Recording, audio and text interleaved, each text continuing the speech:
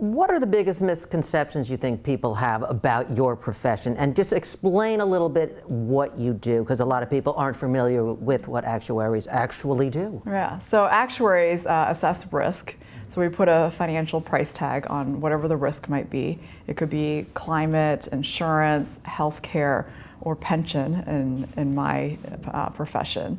And I think the biggest misconception is that they think it's a desk job. Or what about like compared to like an underwriter almost? It sounds like what you're doing. An Is underwriter would under look at the risk and see how to price something. You know, the mm-hmm. actuaries make projections of future cash flows and to see to make sure that whatever promises that you have kept that you're making, uh, such as you know if a customer buys an insurance policy, that the insurance company would be able to pay it, or if you buy uh, healthcare insurance, that at the end of the day that the company can provide for it.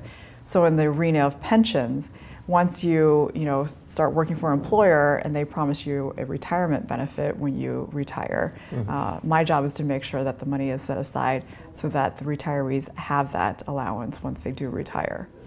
And the biggest misconception, you know, it, it's not just a desk job. Um, there is this stereotype that actuaries work in front of spreadsheets and calculate numbers, and that's all we do.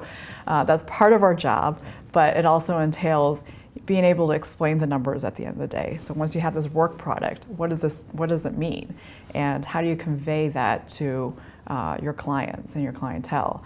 Um, so it's about communication, it's about interpretation skills, and relationship building too, because you have to be working with people uh, most of the time who are not actuaries that you have to explain your work products to.